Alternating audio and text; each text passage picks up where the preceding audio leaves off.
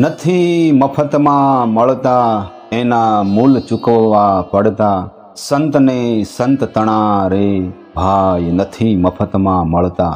આજે આપણે જેના જીવનમાં ભગવાને આકરી કસોટી કરી, એવા સંત ભૂરીબાઈને વંદન કરીએ. રાજસ્થાનની ધીંગી ધરામાં ઉદયપુર પંથકના સરદારગઢ ગામે સુથાર પિતા રૂપાજી અને માતા કેસરબાઈને ઘેર સંવત ઓગણીસો ઓગણપચાસના અષાઢ સુદ ચૌદસના દિવસે સંત ભૂરીબાઈનો જન્મ થયેલ. ઘરમાં ખૂબ જ ગરીબી, માંડ માંડ એક બે ટંકનું ભોજન મળે.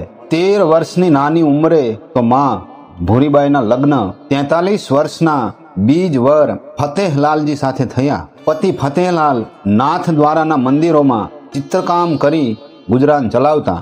માં ભૂરીબાઈનું સંસારી જીવન પણ ખૂબ જ દુઃખમય હતું.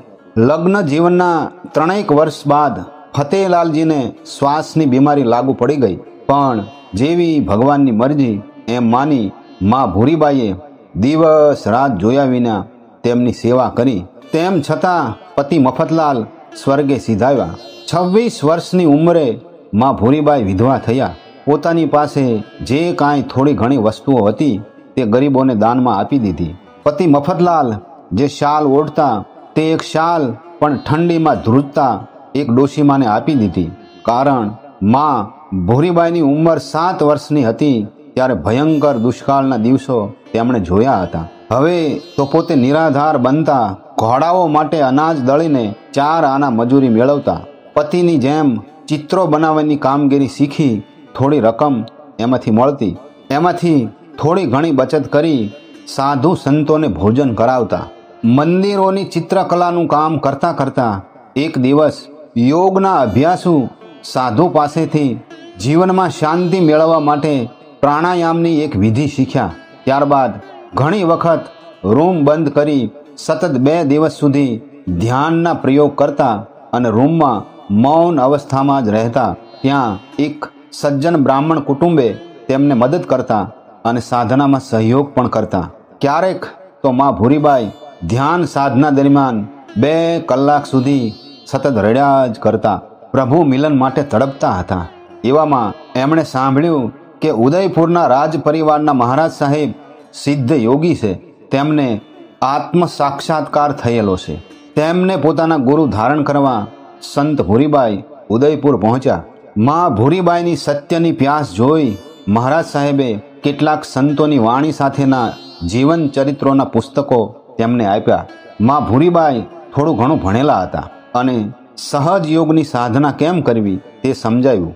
માં ભૂરીબાઈનો સ્વીકાર કરી તેમના શિષ્યા તરીકે સ્વીકાર્યા. માં ભૂરીબાઈ આધ્યાત્મિક પુસ્તકોનું વાંચન સાથે ગુરુએ દર્શાવ્યા પ્રમાણે સહજ યોગની સાધના શરૂ કરી. સંત સાહિત્યમાં રમણ મહર્ષિ, સંત જ્ઞાનેશ્વર, સંત મીરાબાઈ, સંત કબીર સાહેબ જેવા સંતોની વાણીનો અભ્યાસ કર્યો. અષ્ટાવક્ર ગીતા પોતે વાંચતા અને અન્ય ભાવિક જનોને વાંચી સંભળાવતા. સાથે સાથે શ્રીમદ ભાગવત, રામાયણ, મહાભારત તથા ઉપનિષદ, વેદાંત અને યોગના પુસ્તકોનો પણ અભ્યાસ કર્યો. અંદાજે પાંત્રીસ વર્ષની ઉંમરે સમાધિ યોગને સિદ્ધ કર્યો અને તમામ સુખ અને દુઃખ મટી ગયા. મુખ ઉપર તેજ જગારા મારવા લાગ્યું. આંખ કરુણામય અને સૌમ્ય બની ગઈ. તેમની પાસે આવતા દરેક પ્રાણી માત્રને તેમની હાજરીમાં શાંતિનો અનુભવ થવા લાગ્યો. આજુબાજુના લોકો તેમની પાસે આવવા લાગ્યા. તેમની આસપાસ ભજન કીર્તન થવા લાગ્યા. સંત ભૂરીબાઈ સંબોધીને પ્રાપ્ત થયા બાદ ગુરુ ચતુરસિંહ મહારાજ સંમત ઓગણીસો સાસીમાં બ્રહ્મલીન થયા. એમ કહેવાય છે કે ચિત્તોડગઢના પ્રસિદ્ધ સૂફી સંત ચલફીર શાહજી તેમને મળવા આવતા અને માધવપુર ઘેડથી સંત રામ દુલારે બાપુ તેમને મળવા આવતા અને સત્સંગ કરતા. સંત ભૂરીબાઈ કહેતા, સત્ય લખી શકાય તેમ નથી, બસ એને માણી શકાય છે. પોતામાં રહેલ અહંકારની પરીક્ષા કરતા રહેવું, મોહની માત્રાને ખૂબ જ ધ્યાનથી જોતા રહેવું. સંસારના કાર્યો બહારના વ્યવહારમાં બંધાયા વગર કરવા, પણ અતઃકરણનું નિરીક્ષણ કરતા રહો કે તમે કેટલા તટસ્થ છો. વ્યવહારમાં બધા પોતાના જણાય છે, પણ ખરેખર કોઈ કદી કોઈનું હોતું નથી. સંસારથી નિરાશ થશો, ત્યારે જ પ્રભુની કૃપા થશે. જ્યાં સુધી તમે સંસારનો સહારો લેશો, ત્યાં સુધી પ્રભુ એમાં હુકામ દખલગીરી કરે. પ્રકૃતિ જે દેખાય છે, તેને ઊંડે સુધી તપાસી લ્યો કે તે સત છે કે અસત છે અને એ છે કે જોનાર જ વાસ્તવમાં સત્ય છે, એનો અનુભવ કરી લ્યો. બીજી પળોજણમાં ના પડો. ચૈતન્ય સદા ઉપલબ્ધ છે. મન કાંઈ એક નથી. એક મનમાં વળી કેટલાય મન છે. અંદર કેટ કેટલો ખળભળાટ ચાલી રહ્યો છે.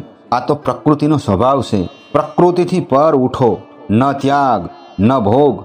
મધ્યમ માર્ગમાં રહો. જેમ છે તેમ ચાલવા દો. બાંધવા, છોડવા જેવું કશું છે જ નહીં. એકવાર મૂળ સત્યને અનુભવી લ્યો. પછી બાકીનું બધું આપ મેળે થતું જ રહે છે. તટસ્થ સ્વનિરીક્ષણ એ સાચો અભ્યાસ છે. સંતોના શાસ્ત્રો વાંચતા રહો, તેમનો સત્સંગ કરતા રહો. હીરા મોતી હાથ લાગી જશે. પોતાના જીવન થકી અનેક જીવોને ભગવાન તરફ વાળી સંમત બે હજાર છત્રીસ વૈશાખ સુદ સાતમના દિવસે સંત ભૂરીબાઈએ નાથ દ્વારામાં મહાપ્રયાણ કર્યું અને ભગવાનમાં ભળી ગયા. સનાતન ધર્મને અખંડ રાખનાર સંતમાં ભૂરીબાઈને આજે આપણે ભાવથી વંદન કરીએ.